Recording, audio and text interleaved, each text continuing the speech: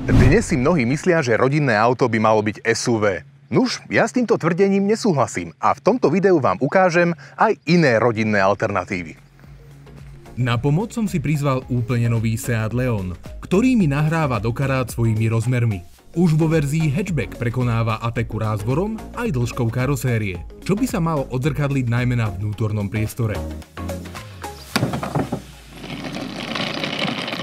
Pre vás fetišistov, hatchback má v základnom usporiadaní celkom slušných 380 litrov kombi až 620.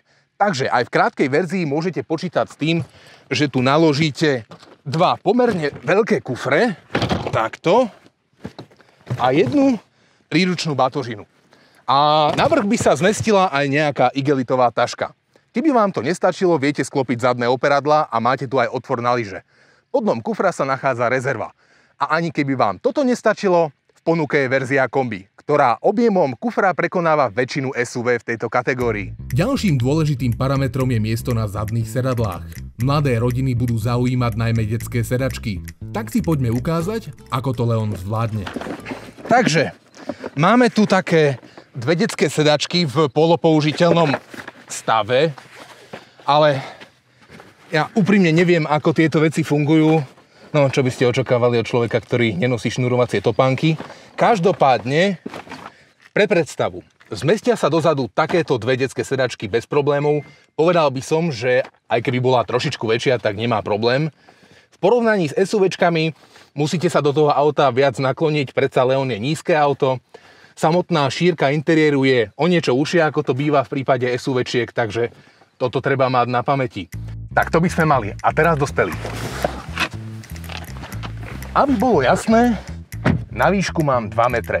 Na šírke, tam sa stále pracuje, sedadlo pred mnou je taktiež nastavené na nejakého normálneho 185 cm človeka a ako môžete vidieť v pozdĺžnom smere mám vďaka rázvoru totožnému s Octaviou pomerne dosť miesta. Chválim výduchy klimatizácie, ktorú môžete vzadu aj ovládať, samozrejme to je za príplatok. Nechýbajú dva USB porty na nabíjanie mobilných telefónov, či otvor na lyže s lakťovou opierkou. Čo sa týka priestoru nad hlavou, je to pomerne dobré na to, že mám 1,96 m, ale v tejto oblasti si SUVčka vedú stále o niečo lepšie. Ale celkovo nemám sa na čo stiažovať. Pre dvoch dospelých je to naozaj výborné.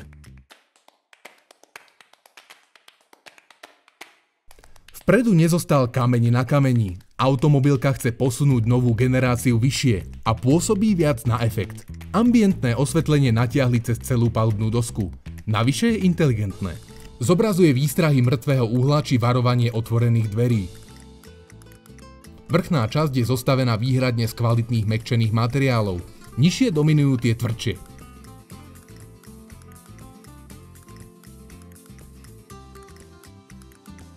Samostatnou kapitolou je tento multimediálny systém. Podľa môjho názoru patrí k najhravejším od koncernu Volkswagen, pretože tu máte veľké farebné dlaždice, ktoré sú dobre čitateľné a viete si ich jedným dotykom krásne prispôsobiť.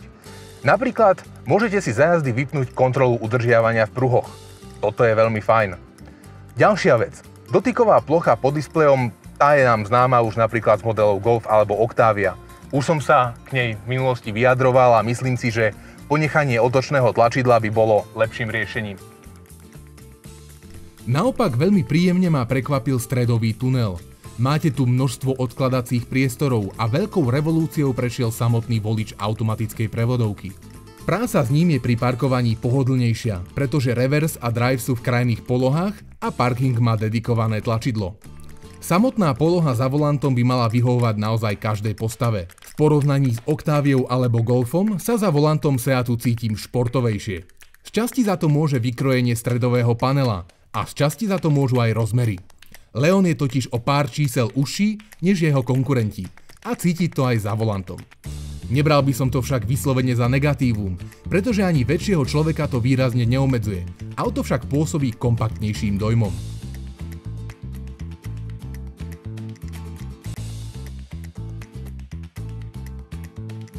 No, dosť bolo o palubnej doske, poďme sa pozrieť na to, ako nový Leon jazdí. Ešte predtým by som ale podotkol, že som zatiaľ mal skúsenosť len s novou Octaviou, ktorá v podstate stojí na rovnakej platforme.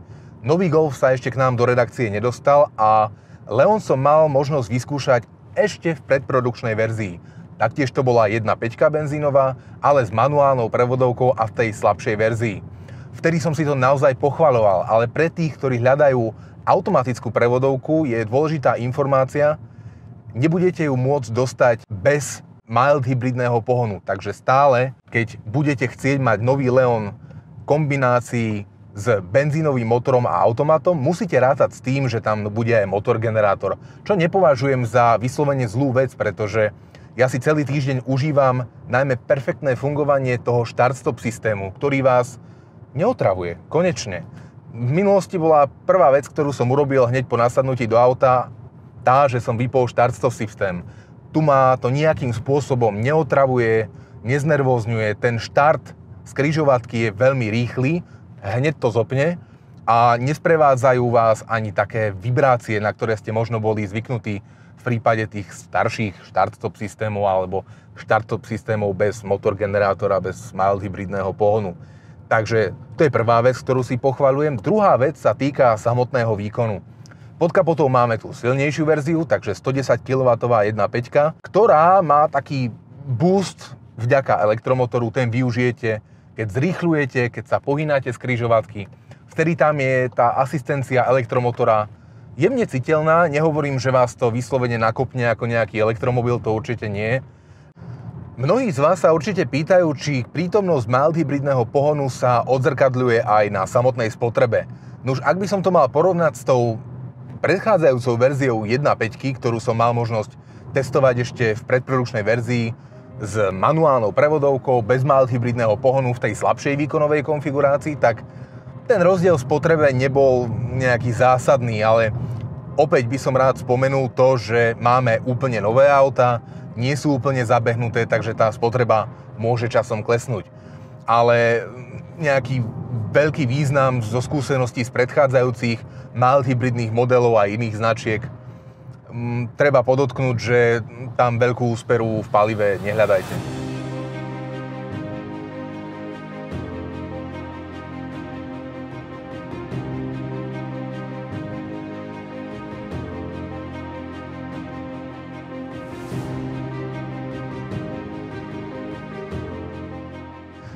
Osobne celý týždeň jazdím za zhruba 6 litrov na 100 km, čo je v prípade ešte nezabehnutého auta celkom dobrá hodnota. Rátam s tým, že časom by táto hodnota spotreby mohla ešte klesnúť pod tú magickú hranicu 6 litrov na 100 km. A to nie je vôbec zlé na túto kategóriu a na auto s takýmto výkonom. Po šoferskej stránke by som rád zdôraznil, že v porovnaní s napríklad takou Octaviou je Seat Leon menej taký uhúpaný, menej sa nakláňa v zákrutách a e, myslím si, že v tomto prípade Seat doručil auto, ktoré je po šoferskej stránke m, trošičku atraktívnejšie než práve tá Octavia, ktorá je viac zameraná na komfort, na pohodlie. Tu môžete mať aj trošku viac zábavy za tým volantom, čo ma osobne veľmi teší. V porovnaní s predchodcom opäť cítiť dlhší rázvor. To auto je stabilnejšie, aj v zákrutách to budete cítiť a celkovo mám pocit, že sedím v o niečo dospelejšom aute, než tomu bolo práve v minulosti. Ak chcete byť v maximálnom komforte, tam odporúčam skôr Octaviu, ale ak chcete ten kompromis medzi dobrými jazdnými vlastnosťami aj v zákrutách, aj takým šoferskejším pocitom, tak v tom je Seat o niečo lepší. Ak by som sa mal prikloniť k nejakej motorizácii, tak by som asi uprednostnil tú základnejšiu 1.5 bez mild hybridného pohonu. A úplne by stačila aj tá 96 kW verzia s manuálnou prevodovkou. A to, čo ušetríte, tak môžete vraziť do výbavy. Lebo Leon je veľmi pekné auto a myslím si, že keď tomu dáte tú správnu farbu a správne doplnky, tak to bude perfektné. Tak si to zhrňme. Leon podľa mňa vyzerá fantasticky. Rodiny môže vo verzii ST osloviť batožinovým priestorom a konkurenčné SUV deklasuje aj jazdnými vlastnosťami či spotrebou. Ani to však nepovažujem za to najdôležitejšie. Pri pohľade do cenníka zistíme, že nový Leon je nielen lacnejší než porovnateľne veľké SUV, ale cenou podlieza aj svojich priamých súrodencov, Octaviu a Golf až o niekoľko tisíc eur. A to je argument, proti ktorému sa oponuje naozaj ťažko.